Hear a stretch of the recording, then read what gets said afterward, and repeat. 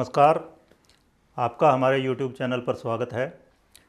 वास्तुशास्त्र में मार्ग वेद के बारे में बहुत सी बातें होती हैं कि अगर आपके दरवाजे पर, अगर आपकी प्रॉपर्टी पर कोई रास्ता बंद हो रहा है एंड हो रहा है तो वो बहुत ही अशुभ है, बहुत अशुभ माना गया वो। और फिर अगर गली के लास्ट में आपका मकान है, उसके बाद गली बंद हो जाती है तो इसको वीथी शूल कहते हैं। वीथी का मतलब होता है गली।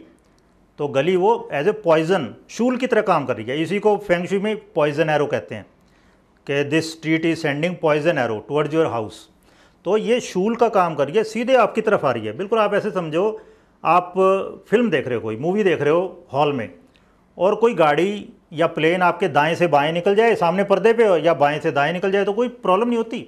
लेकिन आपकी तरफ़ आ रहा हो, अगर वो ट्रेन आपकी तरफ़ आ रही हो या प्लेन आपकी तरफ़ आ, एकदम घबरा जाते हैं ज़्यादातर लोग। खासकर जो पहली बार गया तो, वो तो बहुत ही घबरा जाता है। तो इसी तरह है इसी तरह आपके प्लॉट पर आपके घर पर कोई रोड सीधा आ रहा हो तो वो बहुत ही ज़्यादा प्रॉब्लमेटिक हो जाता है बहुत समस्याएँ देता है। धर्मवीर भारती का एक कहानी संग्रह है उसका नाम ही है बंद गली का आखिरी मकान और उसमें एक कहानी भी है इस नाम की और उस घर में भी प्रॉब्लम ही होती रहती हैं। तो बहुत प्रॉब्लमेटिक है ये। तो आज मैं इसके बारे में बताने वाला हूँ और साथ साथ फिर इसकी रेमेडी भी बताऊँगा। तो अगर कोई मार्ग भूखंड पे आके ख़त्म हो जाता है तो इसे कहते हैं वीथी शूल या मार्ग वेद।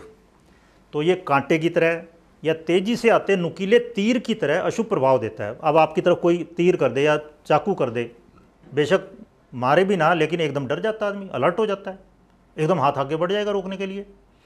तो इस तरह से ही है ये ये भेज रहा है वो नेगेटिविटी आपकी तरफ़ भेज रहा है। ओके, वो हमें ऐसे दिखती नहीं है, लेकिन वो है। उसके असर होते हैं लॉन्ग रन में। तो इस तरह, इससे हर तरह की मुश्किलें, रुकावटें आती हैं और रहने वाला हमेशा असुरक्षित महसूस करता है। मान लो सामने से कोई ट्रक आ रहा है, सोचो, उसका ब्रेक फेल हो जाए, वो सीधा घर में घुस जाएगा। और इस तरह की अखबार में गाये बगाए खबरें आती रहती हैं। या कोई चोर भागता हुआ आया, उसको और कुछ दिखा नहीं, सीधा आपके घर में घुस जाएगा वो। या अंधड़ आया, आंधी आई, एकदम आपके घर में चली जाएगी वो, सारा गंद। तो इस तरह से वैसे भी ट्रैफ़िक जब चलता है, आपको पता ना तो उसके साथ में रेत भी उड़ती है। अपने साथ में लेके जाता है वो रेत, वो सारी आपके घर तक आएगी। तो वह रहना मुश्किल हो जाएगा। नेगेटिविटी बढ़ती चली जाएगी। तो बहुत ज़्यादा ऐसी जगह हानि होती है, शत्रुता होती है, झगड़े होते हैं। तो टी जंक्शन पे भूखंड जो है, बहुत अशुभ परिणाम देता है। मार्ग पे जो घर की ओर आने वाले वाहन हैं, वो वहाँ की ऊर्जा जो है, उसको इम्बैलेंस कर देते हैं, असंतुलित कर देते हैं। तो इसके लिए अब रेमेडीज़ मैं आपको बताता हूँ ओके तो सबसे पहले, कई सारी रेमेडी बता रहा हूँ, आप कोई भी लगा सकते हो।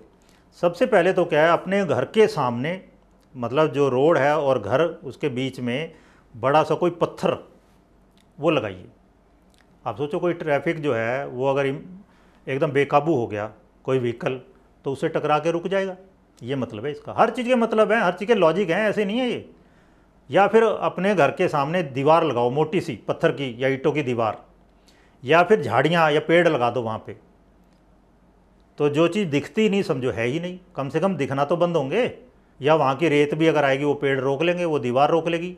आवाज़ें हैं जो, वो आवाज़ें आप डबल विंडो लगा के घर में उससे बंद कर सकते हो। जिस तरह एयरपोर्ट के पास में देखना, ज़्यादातर मकान जो हैं, उनमें डबल डबल विंडो लगानी पड़ती हैं।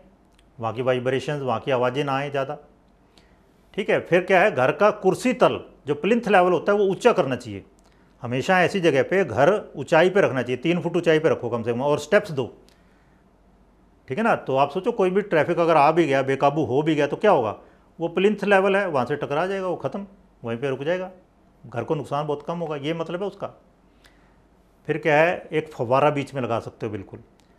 ठीक है? जिस तरह आप ये तस्वीर मैं दिखा रहा हूँ, ये बीच में दिखा रखा है राउंड अबाउट मान लो आपका घर लास्ट में है इसके, ओके? तो ये यहाँ पे अगर फवारा लगा दिया तो फवारा वो नेगेटिविटी को रोकेगा, वो धूल के कण है, उनको ट्रैप कर लेगा साउंड को भी काफ़ी हद तक या कोई ट्रैफ़िक बेकाबू हो गया, उसको वो रोक लेता है।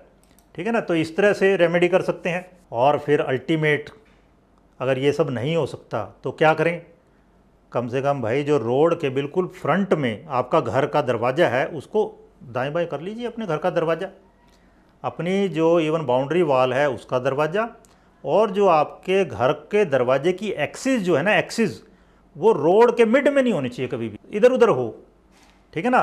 कि वो जो है नेगेटिविटी आपको दिखे ना, ये मतलब है। तो मैंने आपको वीथी शूल क्या है, या मार्ग शूल क्या है, मार्ग वेद भी कहते हैं, वो बताया, और साथ साथ इसकी रेमेडी भी बता दी। होपफुली आप, अगर कोई ऐसी प्रॉब्लम है घर में, आप इसकी रेमेडी कर लेंगे। अगर कोई समस्या है कुछ समझ नहीं आया आपको, आप मुझे कमेंट कर सकते हैं। Thank you. आप सभी खुश रहें।